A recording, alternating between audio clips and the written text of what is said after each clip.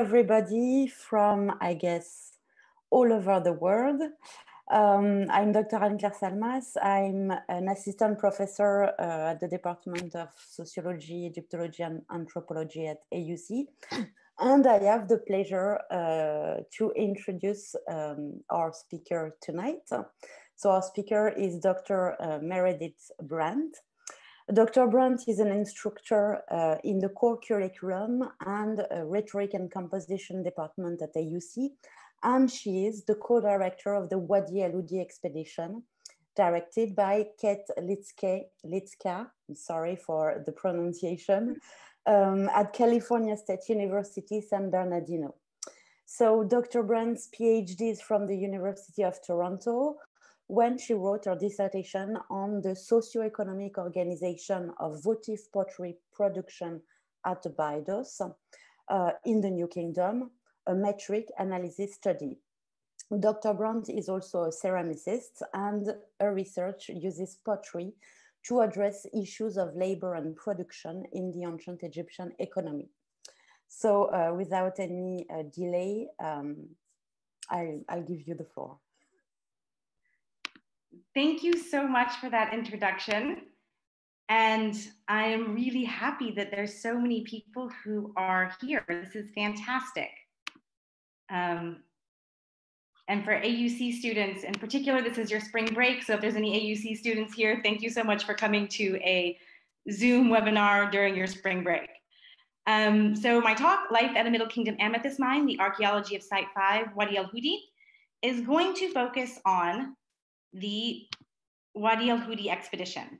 The expedition was founded by Kate Liszka in 2014, and it's been ongoing every season. Um, and we found an extensive amount of archaeological sites. I think it's important to think of Wadi al-Hudi not as a specific site, but rather a region. And you can see here it's around 35 kilometers southeast of Aswan. And we found sites dating from the Paleolithic period, the Middle Kingdom, Greco-Roman, and the Arab period. So there are many sites. We found a total of 41. And this talk is going to focus on one site in the Middle Kingdom, Site 5 mostly. There's been extensive previous work at Wadi El Hudi. Uh, we've known about it since 1917 when the geologist Labib Nassim went to Wadi El Hudi and saw the sites, saw the archaeology, and made announcements about it. So he's the one who first told people about Wadi El Hudi in terms of archaeology. And then later, uh, Murray in 1940, another geologist, part of the Desert Survey of Egypt, made other notations about Wadi al-Hudi. So it's kind of nice that this is an ancient mining site and modern miners were the ones who, who first brought it to everyone's attention. Wadi al-Hudi is most anonymous. It's most strongly connected with Ahmed Fakhry. And he went to the sites in 1940, in the late 1940s, and he recorded a lot of rock inscriptions from the site. He really did a monumental effort to present the rock inscriptions, uh, mostly the textual ones, to a wider Egyptological audience. He was mostly interested in language, so he made sketch maps. So this is site five uh, that we'll be focusing on later. And he wrote small amounts of archaeology, but there was still much to be learned about the archaeology at the site. And Ashraf Sadek translated and continued the publication of Ahmed Fakhry's work in 1980. And then we get to the 90s, where Ian Shaw and Robert Jameson, they had a short visit to Wadi al-Hudi and they published it in an article in Journal of Egyptian Archaeology. And they ended up covering a lot of material and they presented a, a wider understanding of the archaeology of the area, but they did sketch maps and things like this that are surprisingly accurate. They did a really good job. And Rosemary and Dietrich Klemm are two geologists who covered mining and gold mining in Egypt and Nubia extensively, and they published on the geology in also the geology in relationship to the archaeology. So there's a full uh, bibliography of previous work that's available on wadialhudi.com. I'll be mentioning this website throughout the talk, so you can go check it out there. So the Wadi al-Hudi expedition has been busy. We have found 41 sites. Uh, well, okay, we have, there's now a total of 41 sites. Ahmed Fakhry started naming the sites when he went there with numbers. So he started at number one and he found 14 sites. And since then, we've continued his numbering system and we're up to site 41. And we've done an extensive job. So Kate and Bryan have headed up this massive effort to survey and map most of these sites. It's extensive and very impressive work. Um, excavations have been conducted at some of the key mining sites and settlements. And Bryan Kraemer has moved forward and done remarkable work with all kinds of digital imaging things. Um, the epigraphy work with photogrammetry, RTI, 3D modeling, and some of that you'll see in this talk. And we've also are developing an extensive lab program because we want to understand the artifacts and the material culture at Wadi El Hudi in order to reconstruct the lives of ancient people. So we're doing pottery analysis, animal bones, lithics, geology, plants and charcoal is, is, our, is on the bill for the next season. So we're trying to, to really get a picture of life in Wadi El Hudi.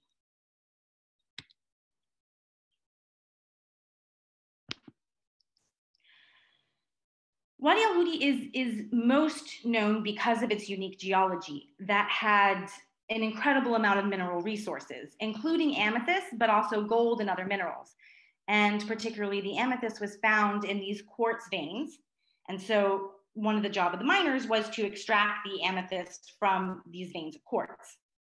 And it was the main motivation for being at Wadi El Hudi.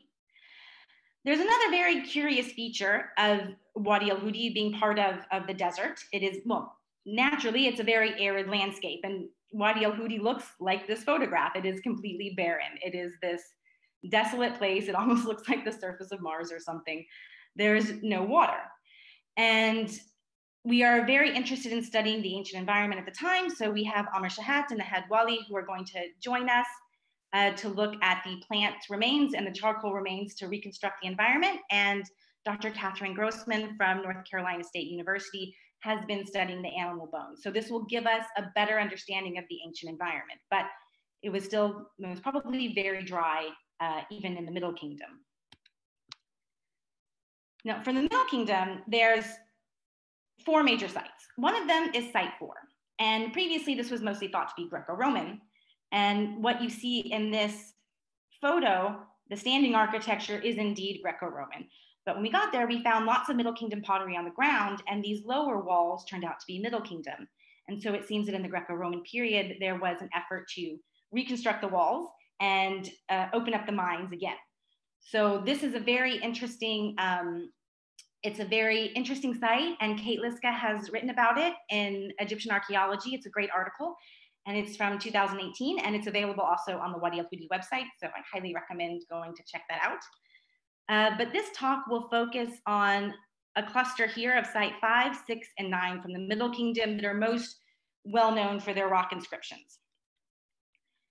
So site five and nine, we can kind of think of this as like a, a kind of a cluster.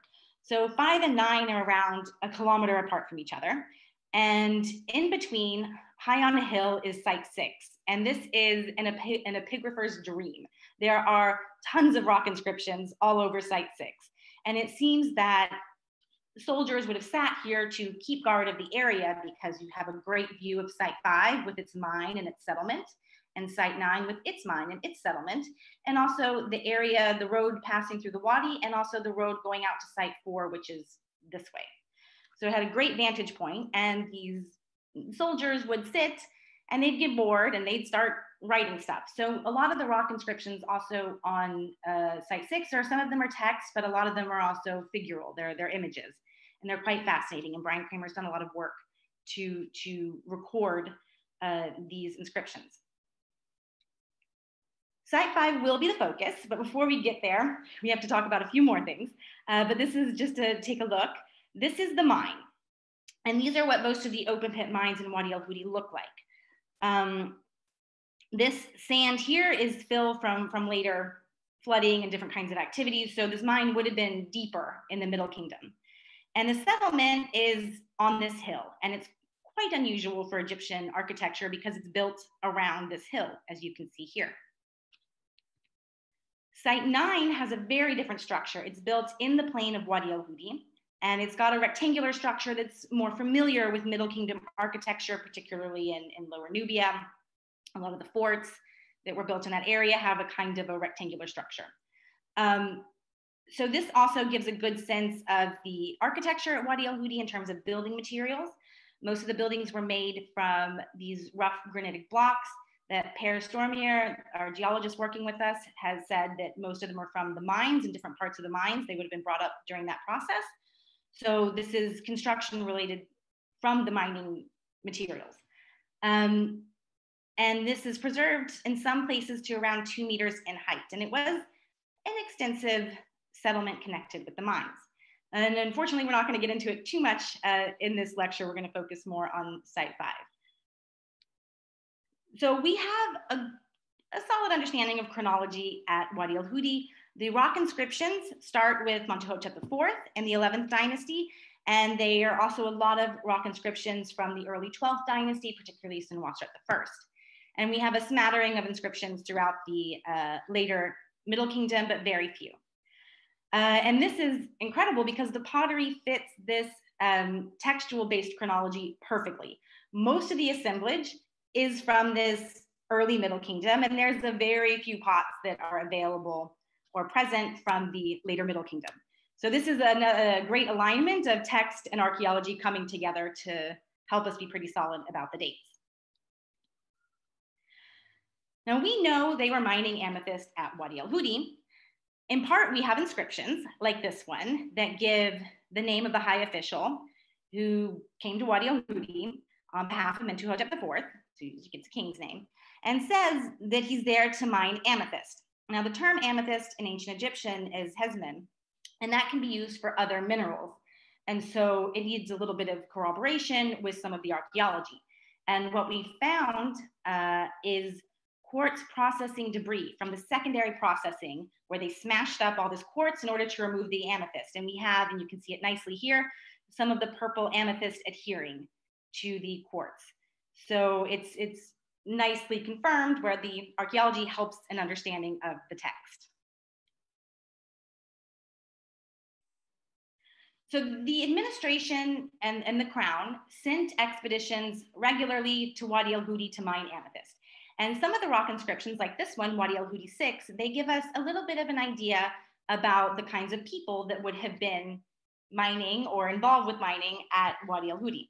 So we have the top, we have a list of different men that would have come from Upper Egypt, from, from Thebes, Elephantine, Kom Ombo, and then a series of administrative officials connected with mining, connected with various desert activities and expeditions that would have come from the capital, Itjtawy, near Memphis, the Memphite area. So this gives us a picture of perhaps the types of individuals who would have been at Wadi al-Hudi. We also have textual evidence that supports the presence of Nubians at Wadi el-Hudi. Two different texts state that you know Nubians from different regions were working in Wadi el-Hudi. And we have interesting uh, material culture that parallels this textual information. So Kate Liszka wrote an article in the Journal of Egyptian Archaeology about the similarity between Nubian and particular C group, architectural design and construction technique that's found at uh, Nubian settlement site of Wadi al-Sabua and in Wadi al-Hudi with the dry stone architecture.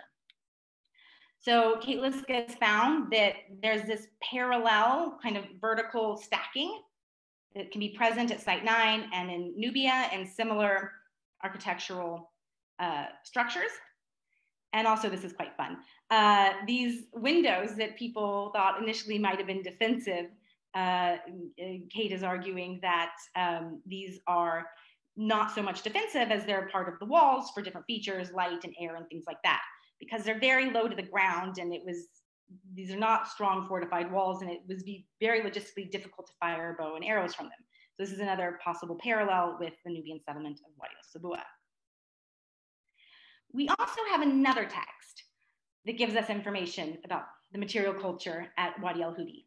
This text, Wadi al-Hudi 4, which was briefly shown with the Nubian workers, says that um, Nubian, Nubian people, they came to Wadi al-Hudi bringing his belongings. So this is a very interesting line in the text. This possibly could suggest that Nubian workers came to Wadi al-Hudi with their things, which might have bearing on the material culture and the archaeology that we find at Wadi al-Hudi. And this could also maybe be a uh, broader um, policy of the administration to have some workers bring some goods with them. So from the text, we've got strong evidence for mining amethyst, that amethyst mining was an administrative run endeavor for the crown, that there are workers from many areas of Egypt, including Upper Egypt and the Memphite area. There's also workers from Nubia. And these workers from Nubia might have had a very active role in building these, uh, these settlements. And further, some of these Nubian workers could have maybe even brought some of their own material goods to the site.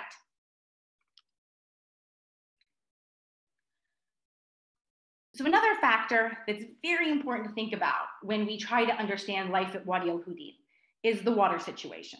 Okay, so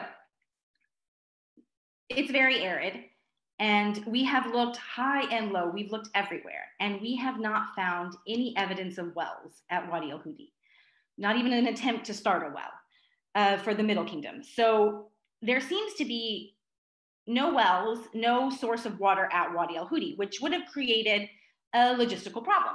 So presumably there would have been some kind of transport 35 kilometers from the Nile Valley to the sites at Wadi al Hudi. There would have been regular sort of donkey trains or something like a caravan that would have regularly brought supplies of water to the site. Um, perhaps carried in animal skins, but then you also have the other problem of water storage at the site. So this was an administrative challenge that we can understand through some of the material culture. So this leaves us with several research questions to ask of the archaeology. So we can use the archaeology to understand what it means a little better to get some insights into what exactly administration run mining would have been. We can specifically look at the degree of administrative control over mining and resources. How much did the administration control the amethyst and the mining? How much did they control the water and food and other supplies? Also, what was the relationship between the administration and the workers? Were they separate? Were they mixed together? What happened? And we can look at the lives of these workers. How did they interact with each other? And given that there could be a Nubian and Egyptian workforce, what, what was going on here? What were the interaction between this diverse group of workers? And fortunately, there are significant pottery types and other archaeological finds that can help address these questions. So first of all, pottery is incredibly important for understanding the supply of material goods at an archaeological site. And it's particularly important at Wadi al Hudi because no pottery was made on site. There was no water, and pottery production requires a lot of water to get the clay workable. Um, so all the pots were brought in from the Nile Valley, so everything was imported.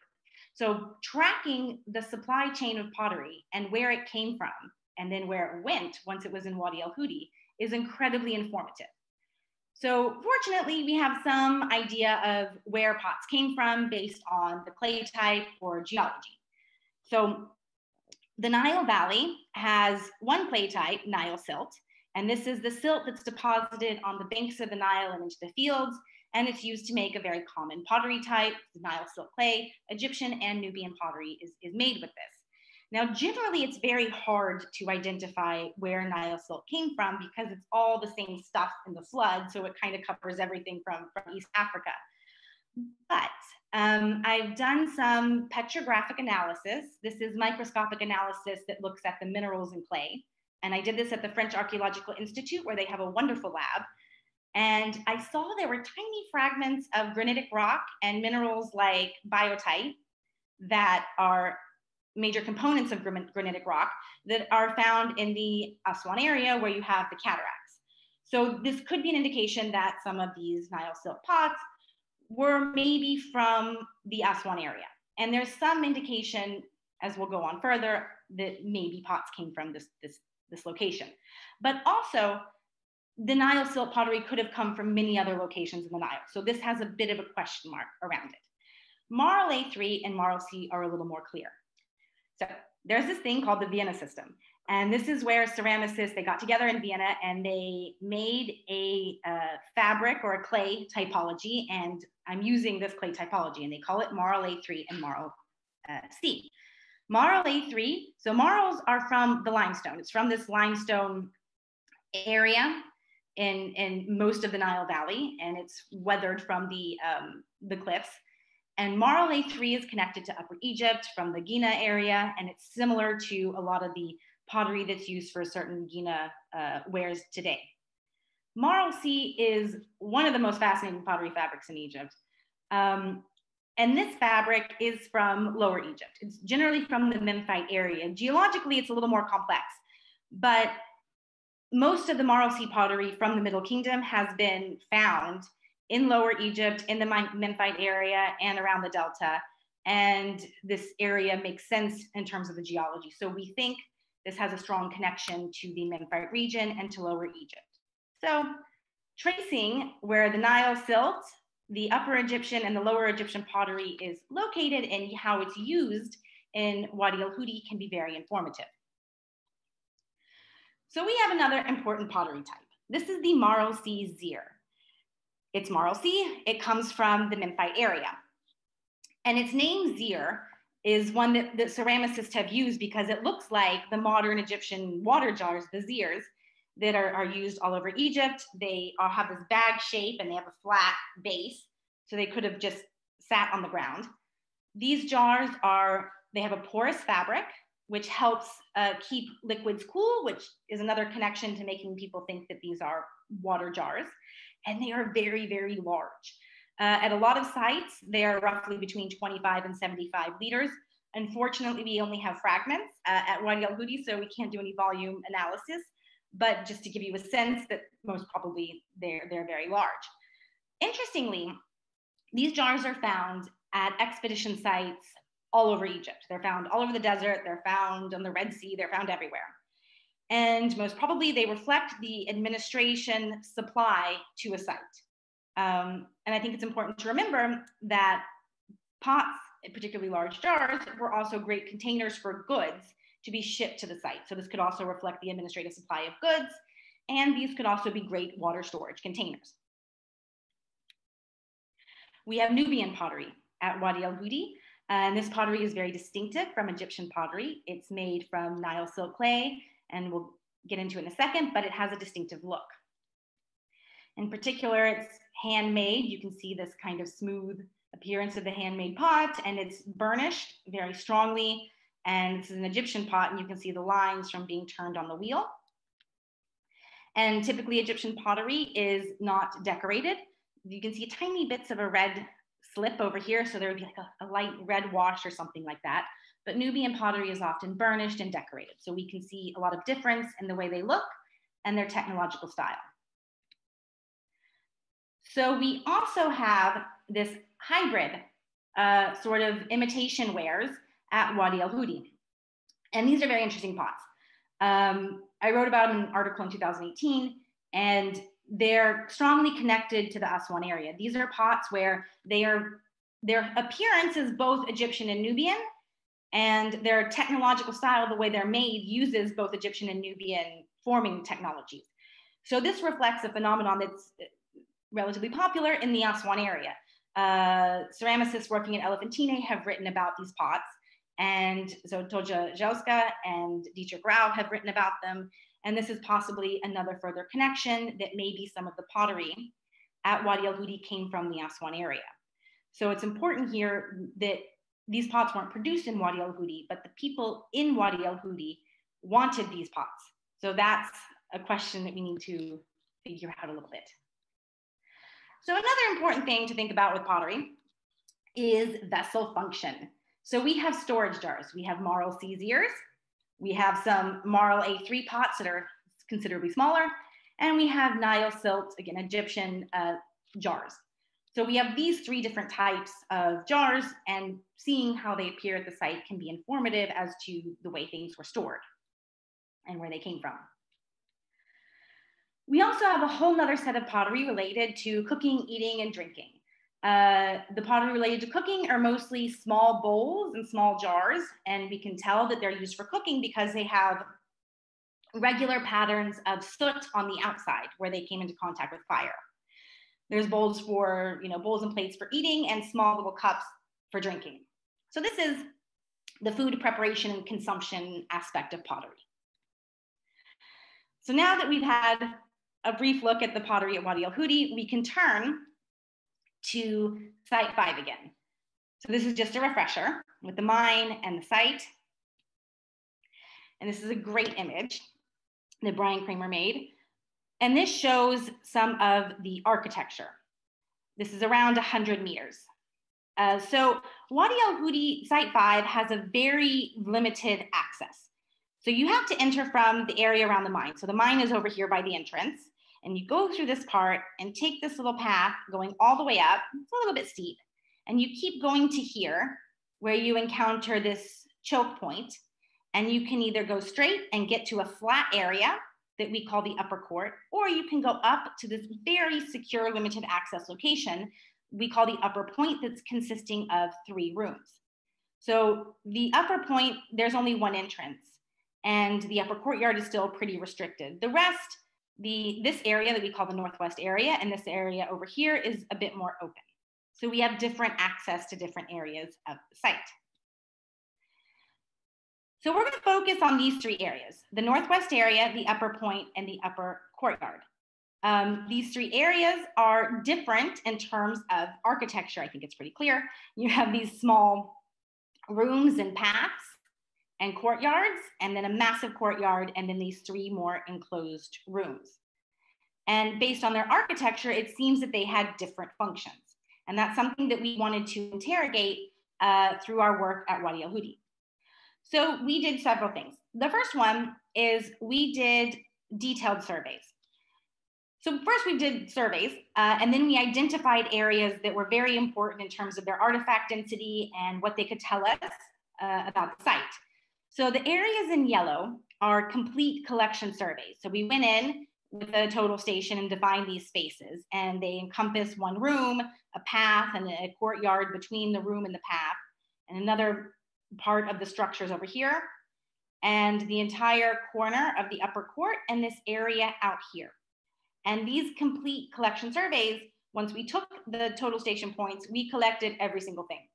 And as you'll see in the next slide, uh, Wadi Al Hudi, particularly site five, is very deflated.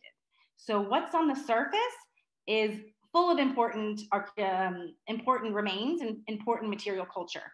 So normally in the first uh, layer of an excavation, this is a bit not as paid attention to as closely as what's underneath, but at Wadi Al Hudi, the top layer is very informative. So we collected all the materials from there and studied them intensively. And then we did detailed excavations in one housing area in this kind of, or one room uh, here and the space in front of it. And we excavated one room here in the upper point to give us an idea of what was happening. So we start with the excavation at the upper point. And you can see this is a great way to look at deflation. You can see all the pottery and all the material that's visible on the surface. And the deposition at Wadi El Hudi is rather shallow because the, uh, the expeditions to Wadi Al Hudi to mine amethyst were relatively short. People did not stay for very long. Uh, so the top level is very important. So this is a fantastic 3D model by Bryan Kraemer. And I encourage everyone to go to wadialhudi.com where Brooke Norton, who is an archaeologist who's very important on the excavation, does a lot of great work, has also created this website and is maintaining it and doing our social media. And she's fantastic. And she's put a lot of, of, of work into a beautiful website that displays this, uh, a lot of our 3D models and the, the work Bryan Kraemer has done that's really, really cool. Um, so one of the rooms here was excavated on the upper point. And during this excavation, it's around 2.25 by two meters in this room, they found an extensive amount of quartz fabric, almost 375 kilos of quartz fragment and quartz debris. You have bags and bags and bags. And this is the, the quartz with the small bit of amethyst adhering to it. And there's some animal bones. Now, anyone who's a zooarchaeologist thinks 216 animal bones is almost nothing. And it does attest to the, the, the, the smaller amount of material culture. Uh, but the animal bones here were predominantly sheep, goats, and a lesser extent bird and very small amounts of gazelle and fish. And Catherine Grossman is working on the publication of this material. And the pottery was very curious. It's just a mix. There was Nile silt, marl A3, marl C Zirs, everything is, is mixed in together. And we hope for the next season to process and study the finds from the um, UP excavations to understand it better. But we'll revisit the function again in a minute. The upper court, this area has a fascinating material culture. So the upper court, there's a density of material culture along the sides as if there was an intentional effort to keep this area clean and they were constantly sweeping and pushing everything to the corner. So this is why the complete collection survey stuck to these sides because that's where most of the material culture was. Uh, and a lot of the pottery are marl C Zirs with small quantities of marl A3. And then in this area, and we'll get to it more towards the end, towards the northwest area, there was some uh, Nile silt, considerable amount of, of, Nile silt pottery found. So, but most of it, remarkably, is Marl C Zirs. And we also see this area over here. We did a complete collection between the double walls where there were Marl C Zirs. And this area that I call the Zir dumps, which is probably not the best term for it because it's not actually like they were dumping Zirs. It's more like there's a cascading fall of Zirs going down the hill. So it seems like people were kind of flinging Zirs off broken Zirs off, off of the edge of the site, uh, or they were trying to carry them and throw them, and you have some spillover in between the double walls. But we have a lot of Marl C Zirs. We also have quartz processing debris from this secondary processing where they would have had to remove the amethyst from the quartz. So we see that extensively in this area. And I think I just put this in here again because it's so cool. I love the 3D models. So this is the area of the Zir dump and you can see the double walls. And I think this is nice because you can get an, an image of how remarkable this upper courtyard flat area would have been for the entirety of the site. It's not easy to navigate the site, it's rather steep. Uh, but this was a rare space that was flat and where you could maybe do activities, meet, do things. So we're not sure of the connection between the upper point and the UC, but it seems pretty clear that the upper court was a place to refine amethyst and it was a central place for Zirs. So this suggests perhaps a center of water distribution, perhaps uh, animal skins or other, other sort of vessels that carried water would have been brought up here and deposited in the Zirs, and this may, may have been the central storage area for water.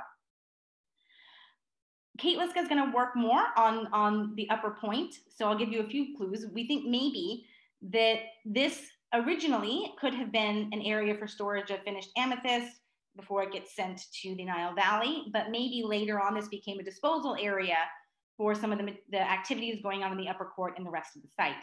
But we need more analysis to, to fully understand what's happening in the upper, upper the UP area.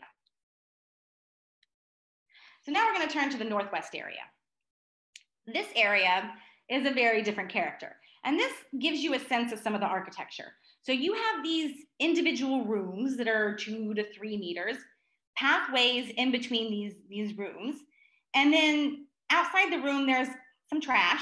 So it seems like whoever was here, they would sweep the trash to the side and then just kind of throw it over next door. And then areas where some of the stones were removed to make a sort of a courtyard space. And then it was connected with different paths. So series of paths, neighboring housing units, rooms, little trash areas and courtyards. So this is the architectural structure of this space here. Now, Nicholas Brown, who is a former AUC master student, is now doing his PhD at UCLA. He excavated one of the housing areas for Site 5 and we're still in the works of processing this material. But so far, it is an incredibly different assemblage from what we find in the upper court. We find animal bones, and Catherine Grossman has looked at these. And the most prominent animal bones that we find are gazelle uh, with small amounts of, of fish, which is very interesting. Maybe it was brought in from the Nile Valley in some kind of container. So pottery becomes important again. Uh, is like a salted or dried preserved fish some bird, and very minimal sheep goat. There is also um, charcoal that's found in this area, and this could be related to cooking or fires to keep warm. And then there's stone tools. This is a flint that would not have been local to Wadi al Hudi. It would have had to have been brought. So this indicates that there's cutting activities going on. that could be related to cooking or other activities. And then these are fun. They're a really great tool. They're called, we call them, people can either call them pottery tools or worked sherds. It's a pottery sherd that at some point somebody picked up and they used it for scraping activities. So it's completely scraped down to a point. So some kind of repetitive scraping action. So this gives a picture of a lot of daily life activities, perhaps cooking, eating, scraping, chopping. So there could be the scraping and chopping could be associated with food preparation or maybe small scale craft production to, to make some goods they need or repair some items they already have. And the gazelle bones are also very interesting. It could point to maybe there was a, a degree of hunting that took on took place in the in, in the area and that the, these animals were consumed in the Northwest area. And in terms of the pottery, the assemblage is very, very, very different. We have a lot of plates, bowls, jars, so lots of, of food consumption of Egyptian pottery, a lot of Nile silt. And we have a lot of uh, cooking pottery. And interestingly, the cooking pottery is small. It's these small sort of bowls. And the Nubian pots are also used uh, as, as cooking pottery as well. So cooking is happening and food consumption is happening in this area. And the cooking is not big vats for large amounts of people, but smaller uh, cooking activities. And we also have these imitation wares that are found in the Northwest area. So this seems to point to a very different activity set than the upper court. And to give you an idea of some of the differences, um, I've compared the uh, distribution of pottery fabrics, the frequencies on the surface surveys between the upper court and the northwest area. Um, it's hard to compare the excavated material to the surface survey of the upper court, but it's even to compare the, the, the surface surveys. And from the surface survey, there's a large section is Marl C. Then we have some Marl A3 jars. So these are all zirs. All the Marl C are zirs. uh, some marl A3 jars and a few small cups, some Nile silt jars, and these are mostly from the areas that border the Northwest area. So it's not from the central part of the upper court, and there are no Nubian pots. In the Northwest area, conversely, there are three Marl C uh, jar fragments. And again, those are from the upper area of the Northwest area that borders the upper courtyard. There's a little bit of Marl A3, and these are mostly small, small little cups and a few, a few jars, and an overwhelming assemblage of Egyptian Nile silt and Nubian pottery is also present uh, at this, this area. So we do see a vast difference in between these two spaces. So we can have some tentative ideas and tentative conclusions based on this material on what it was like in Wadi al-Hudi and the administration and the provisioning. So first, looking at provisioning. So we can see we've got all the different pottery types. And in the upper court, it's very clear it's mostly Marl C coming from the Memphite area. So this area is receiving supplies and from the Memphite area, and it is possibly a water storage facility for the, the, the, for the entire site. So it's mostly Memphite with some Upper Egyptian and a little bit of Nile silt. The Northwest area, on the other hand, it has Nile clay, Nile silt clay coming from potentially Aswan and potentially other areas. It has Nubian pots, and these could be the pottery, the things that Wadi al-Hudi inscription 4 refers to as Nubians coming and bringing their things. Or they could have been supplied by whoever was supplying the site. It could be the individuals or perhaps the administration. But when we think about it and, and, and look at the assemblage, the assemblage of pottery in the Northwest area is incredibly diverse. So this points to more sources of material. It, it points to different lines of supply and points to less control over the types of pottery that are seen here. Whereas in the upper court, it is basically all Marl C Zirs and a few Marl A3 jars, and that's about it. Um, we also have some of the upper Egyptian pottery found in this area too, in small jars and, and, and, and, and uh, small, small cups. So we see the Memphite area really supplied this, this spot, And then the rest of the Nile Valley and the Aswan area uh, supplied this, this spot. So we see two different lines of supply at this spot. We also can infer from the material culture, it gives us some kind of clues as to what the administration did and their main concerns at Wadi al-Hudi. First and foremost, they were there to mine amethyst. it's clear in the inscriptions, it's clear from the mines, it's clear from everything that that was their chief concern. And so it is logical what we, what we find in the archaeology, where there was a considerable amount of administrative control over amethyst and its secondary processing, the processing of removing amethyst from quartz. And this took place in the flat area of the upper courtyard that was rather restricted and potentially stored in the upper point. So there was centralized control over this amethyst processing and amethyst storage. Now, we don't find any amethyst in the Northwest area. It's not found at all. So everything involved in amethyst was kept up here. It went from the mine over here all the way to the upper court. And it seems that this control extends to some of the Marl C Zirs. And we have to think about Marl C Zir function. Maybe they brought in supplies from the capital, in which case maybe the supplies were offloaded here. It's not very clear, but they most probably had a water storage function. So presumably this area also stored water for the activities of the site. And then water was distributed to the people in the Northwest area and stored in these smaller, more manageable Nile silt jar forms. So there seems to be some kind of administrative control and distribution to the workers in this area. Now, this distribution could have extended to other foodstuffs like grains and things like that. And we're eagerly awaiting um, Amr Shahat to come and study some of the, the, the plant remains to give us a better idea of what's happening. So this could extend beyond water to other sort of food goods. But yet, at the same time, when we think about the lives of the workers, it shows us that perhaps the administration was not this monolithic entity that controlled everything. That at Site 5, there was a degree of independence for these workers. In terms of their food preparation, they were cooking and preparing food in the Northwest area. There was no large kitchens, there were no centralized cooking area, nothing like that. They were cooking in small quantities and eating. And whether they got some of the, the, the food that they were cooking from the administration is unclear, but they were certainly preparing it and eating it in this spot. And that's outside of some of the norms that you would see in, in larger scale work projects.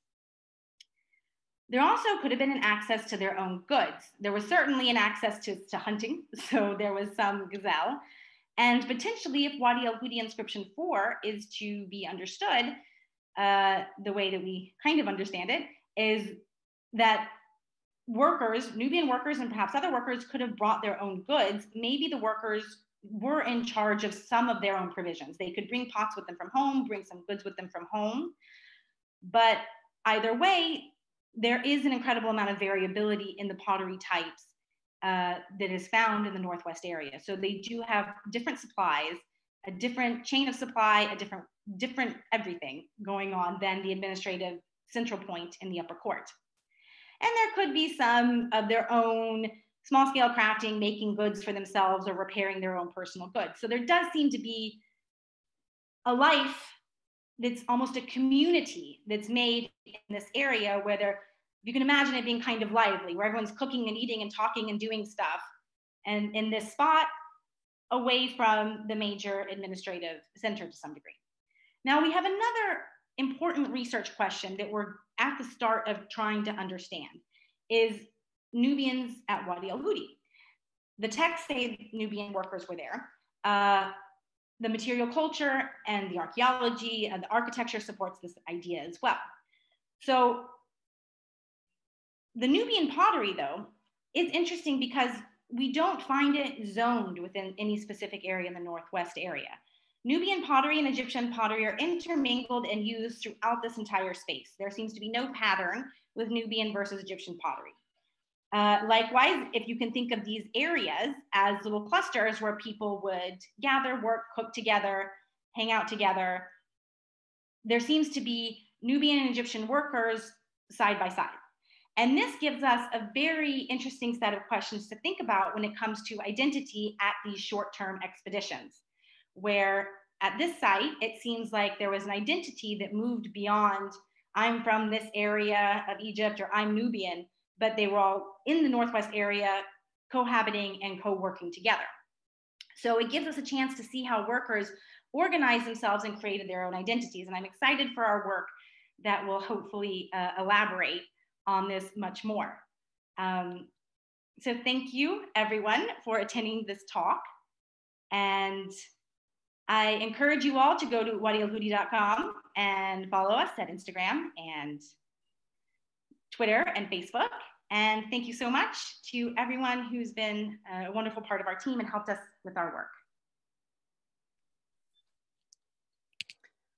Thank you very much, uh, Dr. Brand Meredith, um, for this fascinating presentation and uh, for um, giving us the opportunity, giving us the opportunity to uh, better discover the work of uh, the great team that you co-direct. It's uh, it's amazing, and it's all the more amazing that I mean, you can bring a lot of information up with, you know, tiny materials, I would say, but not, you know, the big monumental thing, but it, it's, it's, it's amazing. So I think there are already uh, some question. So I'll just jump in before and say that this kind of shows what you information you can get when you have a team that works on a lot of stuff and we sit and we talk and we cooperate so that normally a ceramicist wouldn't be tapped into everything but every we can all talk like this and it's fantastic it gets great results and i think bryan and kate and, and i have we're, we're really trying to encourage this connection between the different disciplines well yeah and it's it's i mean it's important to have interdisciplinary um, team uh, nowadays. But the fact that you take the time to sit and to discuss your respective finding, um, it's also, I think, something that we should uh, learn from. Um, so do you want me to read the question or do you want to read the question and then and then answer them? I can read the question and okay. answer them. So, uh, so the first one from Rowena Baker is, I've only read about Wadi al-Hudi, uh, but wondered if your findings indicate other Middle Kingdom amethyst mines in the Eastern Lower Nubia or similar size and function. Okay, this is a great question. So Wadi al-Hudi is part of a larger mining program that was going on in the Middle Kingdom in the Eastern Desert and around Nubia. So there's big sites like El Hesnin, east and west, that we have also surveyed. They were part of um, our, our area for the excavation. And there were large mines. Uh, we're not quite sure exactly, but probably amethyst mines. And there's Dihmit north and south that are now right on the border of Lake Nasser. And these are also Middle Kingdom mines. And what they're mining there is potentially less, less clear. But there was a large effort in the early Middle Kingdom to mine minerals and resources from the Eastern Desert and Lower Nubia. So Wadi al Hudi is, is part of this, this process. And there, are some of them are similar size, some of them are even bigger, uh, but similar size. Yeah, so large, large spaces. Next question. Okay, so Serena Nicolini, I love this question. Thank you. Uh, so have you found evidence of pot marks on pottery sherds? Well, yes, we have from the most Middle Kingdom pot mark sherds you can find from the Marl C Zirs. Uh, pot marks on Marl C Zirs are an infinitely fascinating uh, topic, and it's something that has further led some to argue that there's a connection with the administration because there are pot marks, and pot marks are uh, markings incised in the clay. Uh, well, there's pre-fired and post-fired. So the pre-fired ones are incised when the clay is wet, and then post-fired ones are where it's scratched on afterwards. So we do have some um, I have a picture, one of these. Anyways, yes, here's one. So I think I've got this covering it. Um, so here's, a, here's one of the pot marks.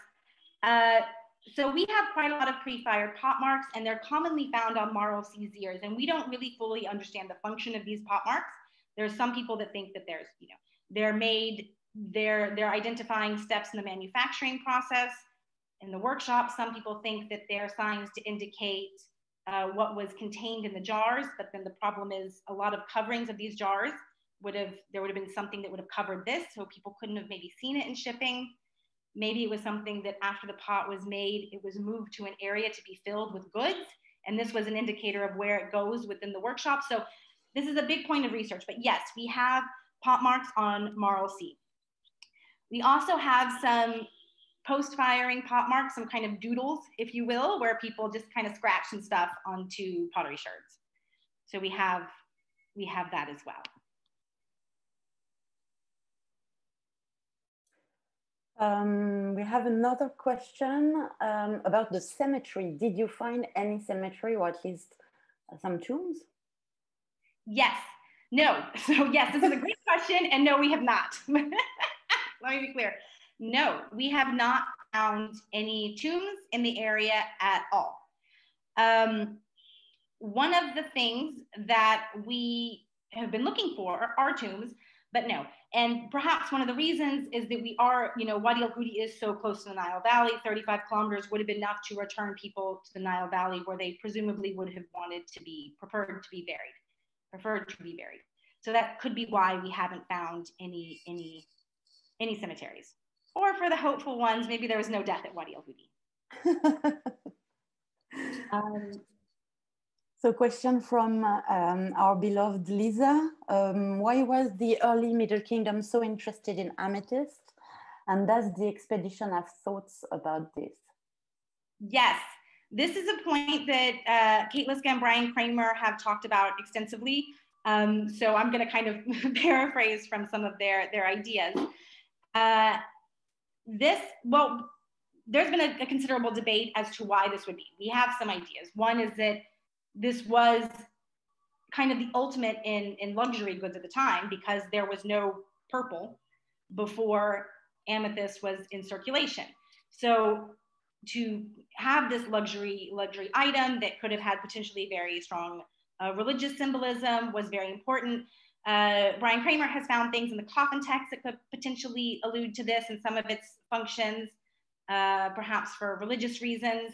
So we range from its uh, luxury economic good that the pharaoh would have wanted to give uh, to his closest relatives and companions and courtiers to religious ideas uh, as well. So we're kind of volleying back and forth with that. And they're better to answer that question. That's a great question. So the next question, I'm not sure whether it's a, a genuine question or an inside. It's uh, a joke. Bryan Kraemer, one of the co-directors. So Magda is one of our team members who is she works on Nubian cemeteries and she very much has been looking for them and is quite disappointed every season when we don't find a tumulus. So he was making a joke. Okay, okay good. Um, a question from uh, Mathilde Prévost. Did you find any archaeological remains of donkeys? This is another good question. Uh, I don't think so. Everything that we found from the animal bones, I have to go check with this because Catherine Grossman is, is, is in charge of this, but most of it is, you know, there's sheep goat, there's gazelle, there's fish, birds, things like this. I don't think there are any donkeys, um, but I'd have to check. Uh, it would be very interesting, and presumably donkeys would have been present um, on the site because they would have needed to move things around and you know things like that. So presumably there would have been donkeys. Uh, we've excavated um, other locations at you know site four in the Middle Kingdom and site nine, and so maybe the zooarchaeological analysis of some of those materials might lead some more information. Okay, so for now, no dead humans, no dead donkeys. Good point for you. Yes. Um, next, next question from um, Susan Allen. So before I read the, the question, I'm, I'm allowing myself, myself to send my love to Susan and Jim. So one of your slides showed that is usually called a corrugated neck bottle in Middle Kingdom pottery. It wasn't clear if it was Nile or Marl. Yes. So this is the one she's talking about. Hello. it's nice to, to meet you virtually. I'm a big fan of your pottery work. uh, okay, this one. This is, um, this one was, uh, it was Marl A3, this guy. And I'm working hard this summer to do the pottery report and get that published. So you'll have a more kind of proper ceramicist explanation of some of the pottery and the fabrics and the frequencies and things like that. Uh, thank you. So uh, next question from Carol Redmount. What do you know about the workmen, their status, where they came from, apart, apart from what the pottery is telling you? Um, and might this affect how they interacted with each other? Yes, this is a great question. So we do have some of the clues from the text, like inscription Wadi al-Hudi 6, that is up here, that says that, you know, there are sort of workmen that presumably had a lower status uh, from the higher officials of, um, let me move this. Uh, so a lot of people that were coming from Upper Egypt to work, um, and then some more higher administrative officials from the capital.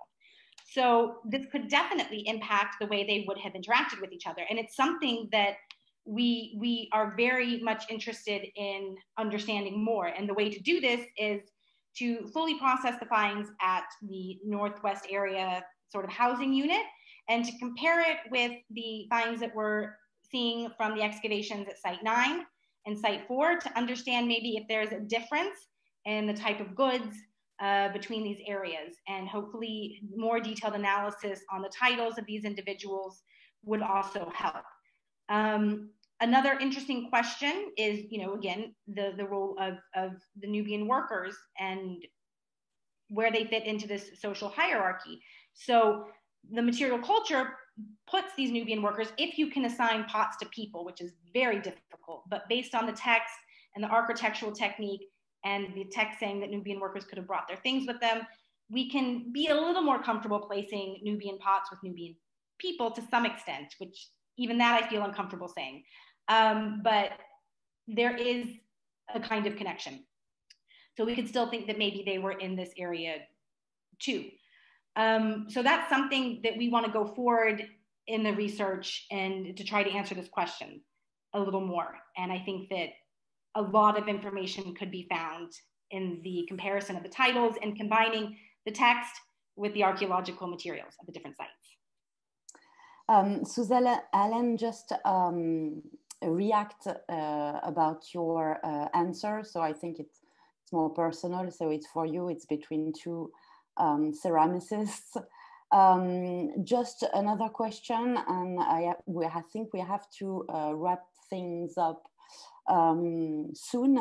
So a question from Kathleen McGann. Have you found any evidence other than, other than the quartz fragments showing that they worked or shaped the amethyst on site? No. And so our working hypothesis is that they would have extracted the quartz from the mine, brought it up to the upper courtyard, and removed the amethyst from the quartz. The quartz, like the amethyst was embedded in it. And then they would have probably shipped that on to the royal workshops to do other processing, most probably. Uh, so we that's all we have is the separation of amethyst from quartz. Um, uh, comment from uh, uh Dr. Kate Liszka. Um, I, and she said, I quote, I just checked uh, Kate Grossman's report. We have very limited numbers of donkey and cattle remains, but it's super small for uh, any large uh, mammals. So just to answer uh, Mathilde Prévost's um, question or to um, give more um, information on her question. Another question, um, I'm sorry, I just uh, will say the, the, the, first name because I'm not sure I will pronounce the last name correctly. So from Asta, do you think people who are living constantly in this and other sites uh, of Wadi al like in Deir Medina, or working in amethyst quarries like a seasonal obligation, or maybe working in these quarries was kind of a punishment? Ooh, this is a big question for Wadi al Hudi. And it's difficult to establish this archaeologically because we don't yet have a, set of strong theoretical guidelines to identify in material culture what is work obligation versus what is not work obligation. Um, because ancient Egyptians, for most of these expeditions, they fed people pretty well. We have a, a, a good evidence at sites like Heit el-Ghurab and Giza, where there is extensive, you know, food and, and people were well fed, you know, broken bones were mended, things like that.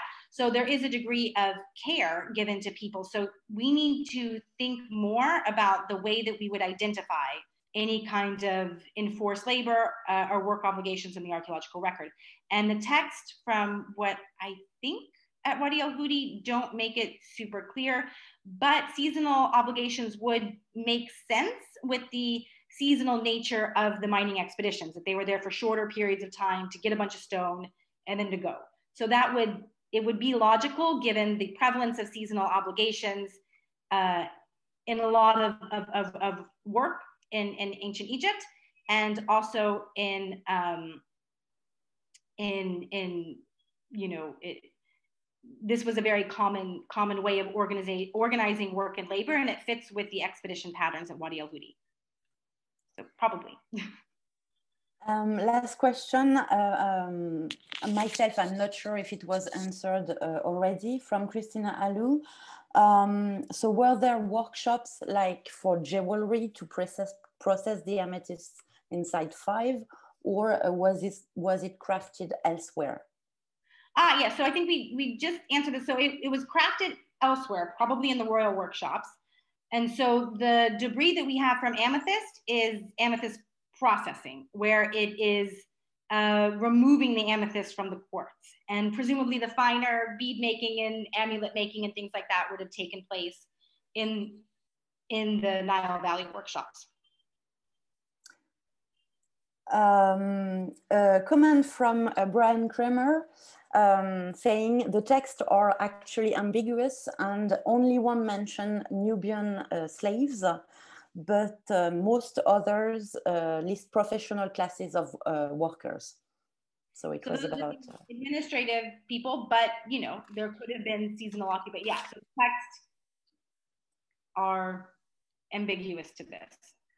I have my own question. Um, I mean, I, have translated with my student in hieratic uh, one text from Hatnub, and um, there was an important activity there at the end of the 11th dynasty and the beginning of the 12th dynasty. And the um, epigraphic uh, activity there um, gives us uh, information on the dynamics between the monarchy and uh, the nomarchs um, what about uh, the inscription in Wadi El? Do you have information for reconstructing historical context in Upper Egypt or, or even in Nubia? What was the dynamic between, you know, at this, at this time, um, the monarchy was not, uh, I mean, was just beginning to recover. So do you have inscription where you can say that some ex expedition uh, were sent by Nomarch and Nomarch took over basically um, the production of amethyst or at least the mining of amethyst or is this just um, a, a, royal endeavor? Okay, I will answer this and I'm gonna ask Bryan Kraemer to type something to confirm it because he's our tech specialist. So Bryan, get ready to type. Um, so uh, it seems that from all the inscriptions that, that, that people were sent in the Middle Kingdom by the crown, that it's not nomarchs. And also Susan Allen, yes, this is, it's, it is Marl A3 and it does seem to be some kind of an imitation. We've only found one and it's kind of cool. So I put it in the slide, but it's our only, only one of them. So it is kind of a unique pot, but that's a, a really like important observation. Thank you. So um, Kate Liszka uh, answered, they are all pharaohs, no nomarchs, and uh, Bryan Kraemer also answered, all texts are official inscription with loyalist overtones, but I have noticed that most Mentuhotep the fourth texts are either effaced or, co or covered uh, over later. Uh, all later texts are unusually left intact. So, okay, so uh, um, a, a, royal endeavor for uh, Wadi El Hudi. Um. I don't know, I, that doesn't seem to have, oh yeah, uh, Claire Somaglino, well, she's what she's excavating. Uh, she's the director of the Ain Sokhna mission on the Red Sea. Uh, it's uh, more or less uh, a call uh, for um, discussion between Wadi El Hudi and uh, Ain Sokhna. So now you are in contact. well, I know Claire and I know you, so I can I can be the connection between you two. That would be great, and bring you know Kate uh, Liszka and Bryan Kraemer, and and let's have more talks about this. It's a uh, mining sites are incredibly fascinating. I mean, endlessly for the inscriptions, the archaeology, the glimpse at life. It's like wonderful. So uh, thanks, Anne Claire. So voila, I can uh, I can put you in context. So I think it's it's uh, time for us to wrap things up. I don't know uh, if Daniele is still uh, there and if he can uh, show uh, his face because it's it was um, our last event for this series of AUC Egyptology Zoom lecture. So on behalf of uh, Professor Ikram and uh, the young baby of AUC that, that is us, um, I would like to thank you everybody who attend to our um, events. And uh, I hope there's going to be more uh, to come uh, because it seems that it was quite uh, a success. Thank so thank you. you, everybody. I don't know if you want to add things, but go ahead. No, thank you so much, everyone, for coming to the talk. I greatly enjoyed it. Thank you all for hosting.